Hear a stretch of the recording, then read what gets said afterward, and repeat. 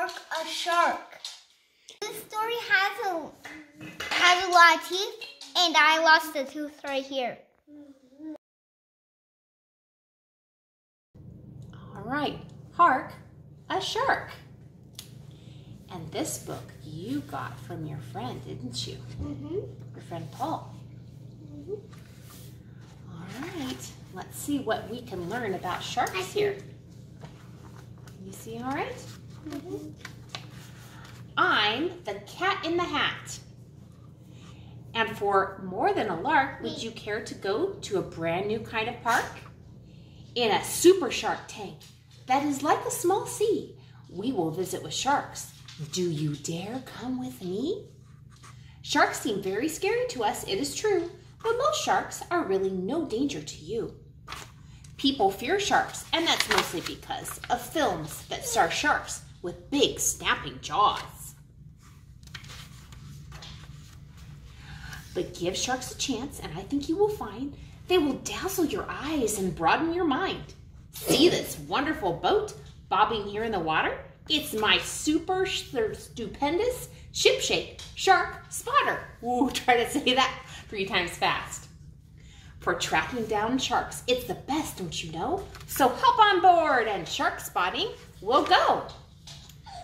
Over 400 species swim the seas today. Let's visit with some of them. Anchors away! I'm, is that hard for all of you to see? Uh, I would like to go. I'm doing my best here. Okay, let's see. All right, so we don't agree with this part, so we crossed it out. But sharks were, we believe that sharks were made on day five, and most dinosaurs came on day six. Fossils of shark teeth simply abound. More than 200 species to date have been found. Look at all those teeth they're finding. But we never find bones. Back up here so brother can see. Because sharks don't have those. Sharks are made of cartilage, just like your nose and, And your our ears. ears. That's right. That's, mm-hmm. It moves. Cartilage helps sharks to turn and bend and to move through the water much faster, my friend.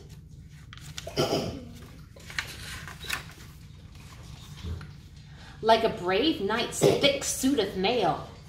You're my gallant knight. A shark's skin protects it almost without fail. Stroke the skin from head to tail. It's smooth, you will see. Stroke the skin from tail to head, and it's as rough as can be. That's because it has denticles. Hard, toothy stuff that lies flat for swimming but makes the skin tough. Doesn't that kind of look like the dragon armor too? Mm-hmm. Yeah. A whale skin gets dirty and gunky, you see, but a shark skin t- stays clean and is nearly gunk free. It's tough and it's rough and it's sleek and it's clean. Shark skin is unlike anything you've ever seen. These fake shark skin suits help swimmers to swim. He got first prize. Human skin grafts are grown from shark skin. Oh my. Is what if? if somebody needs new skin to grow. And gunk falls right off the shark spotter's side because of a paint that is rough like a shark hide. Looking for shark's teeth? There are plenty. You know why? Most sharks have a nearly an unending supply. What if you had an unending supply of teeth? Hmm? From a jaw made of bone, your human teeth grow. Shark teeth grow from gums, row after row. When a tooth becomes loose or else gets a bad crack, it'll soon be replaced with a tooth in the back. What type of food will your average shark choose? Most sharks hunt for meat when they're out for a cruise. Great white's teeth are sharp for tearing and munching. Horn shark's teeth are flat for crun- crushing and crunching.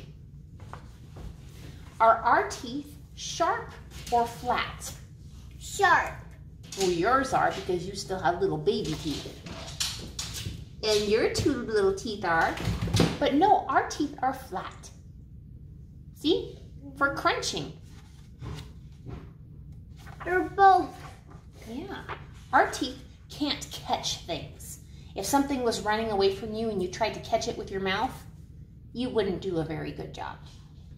But if you wanted to crunch into something like a juicy apple, your teeth are perfect for that.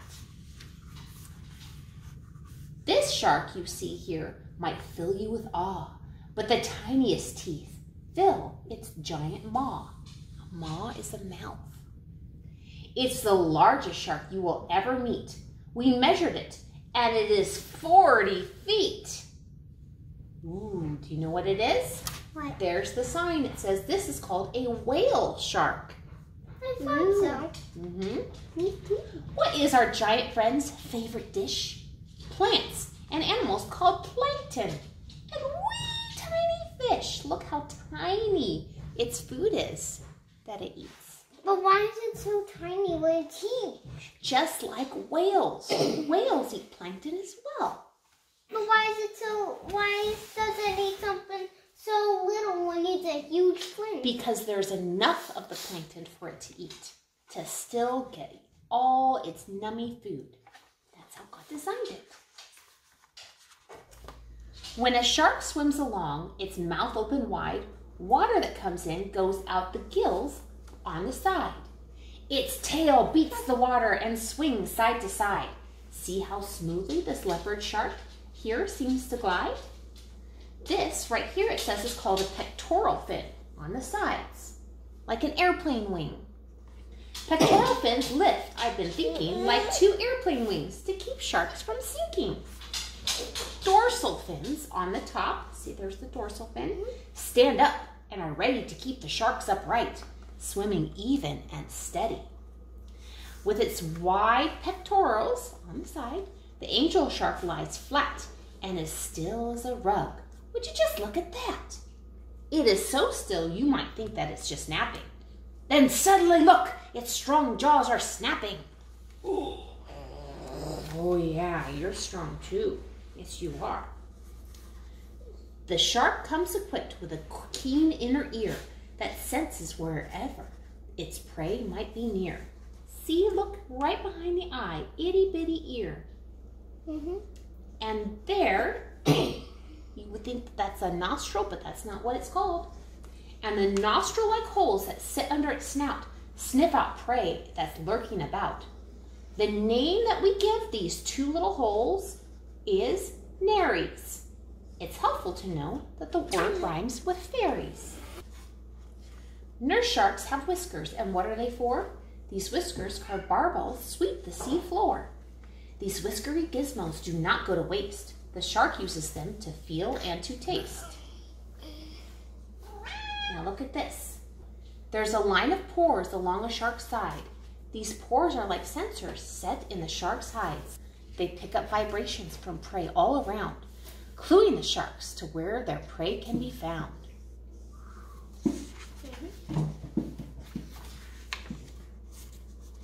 Most sharks, as a rule, have keen eyesight. Their eyes can see well in both dim and bright light. The puff-adder sh- shy shark's long tail whips around and helps it hide from predators, shark experts have found. Ooh, I like these guys. The hammerhead shark's range of sight overlaps, giving it much better vision, perhaps. We're not quite sure yet. But who needs sharp eyes way down deep in the murk, where this rare goblin shark's nose does all the work? Look at that huge nose. Wow. This is pointy as a carrot. Pointy as a carrot. You're right about that. Pointy as a narwhal's tusk or a swordfish. I like the way he hides like that. Yeah. You can get down. That's fine. Some sharks are hatched out of eggs in a case that is hidden by mom in a very safe place. Some shark eggs hatch inside of mom and then thrive on egg yolk until they're big enough to survive. Lemon sharks, like us, as I've just read, grow in their mom's bodies where they're safe and fed. Like humans. Yep, just like us. This pup, did you know that shark babies are called pups?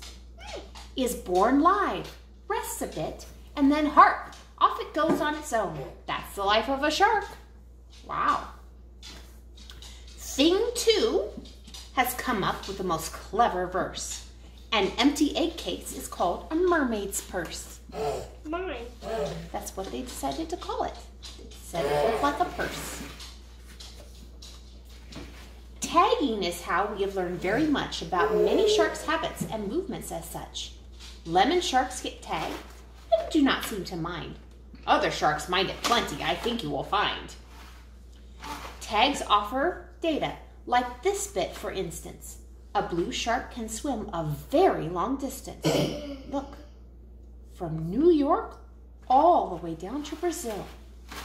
In 16 months' time, from New York, it will swim 4,000 miles to far off Brazil. Wow. The things are now holding a shark spotter contest to reward each shark here for what it does best. The whale shark, as we already know, is the biggest. We've said this before. The smallest, the dwarf lantern shark, about 8 inches, no more. The fastest is Mako. It's a speed whiz. The wobblegong might be the slowest that there is. What sort of shark is this that I spot? It looks like a thresher shark here, does it not? It has a long tail. See how the tail swishes to round up its dinner? A mouthful of fishes. The tiger shark isn't fussy. It'll eat anything a clock, or a stool, or a rusty bed spring. It's the least fussy eater. Oh my. Those, those are not nutritious things to eat. no. The cookie cutter shark with its big teeth rips neat, perfect circles, sucked free with its lips. Neatest bite. Ouch. Mm. The spiny dogfish, just call him Granddad, lives as long as some humans. That's some life he's had. The longest living shark. The megamouth attacks prey. It glows in the dark. Light works as a lure for the deep water shark. Ooh, it's making a light. So and if he's eating jellyfish, ew. he has the reward for the brightest smile. These white tip reef sharks sometimes swim in packs and hunt as a team for their favorite snacks. They get the best teamwork award. Wow, look at this guy. The spinner shark here confuses its prey by spinning its body in a dizzying way. It gets the coolest move award. The great white looks deadly upon close inspection, but it may be in danger without our protection. This one gets the award for the most feared. Our visit is over, but hold on, not quite. Let's spend some more time with the deadly great white. The great white is simply a hunting machine. Watch it at work and you'll see what I mean. Dark on its top side and lighter below, it can sneak up no matter the angle, you know. They are in what's called a shark cage. You're in there and you can watch the sharks, but the sharks can't get you. Its jaws jut out far, the better to grip. Its teeth are made so as to bite and to rip. Its head shakes hard to loosen and snatch. Its eyes roll far back, avoiding a scratch. It doesn't want to get his eyes scratched. Yeah. If you swim where it's safe, sharks will leave you be. You will stay as safe as on land you will see. Around this hard fact, I will not haw or hem. Sharks should fear us more than we do them. Sharks are in danger. This I will repeat. People hunt them down for sport and for meat, for oil and for their remarkable skins. And let's not forget their dorsal fins. Why are they taking their dorsal fin? That's not good, is it? That's horrible. Why do they want their dorsal fins? That's something we can learn about later, but what they need it for, mm-hmm. They don't need it for. The sharks need their dorsal fins, right? We don't. People are not the shark's natural prey, but too many people think it's that way. They want to get sharks before sharks get us. Let's speak for the sharks and stir up a fuss. Do your bit to help. Here's what you might say to shark fin soup supper. Just say, yuck, no way. Do not go shark fishing just for a lark. Let's let the sharks be. Yes, let's save the shark. And these are about the terms.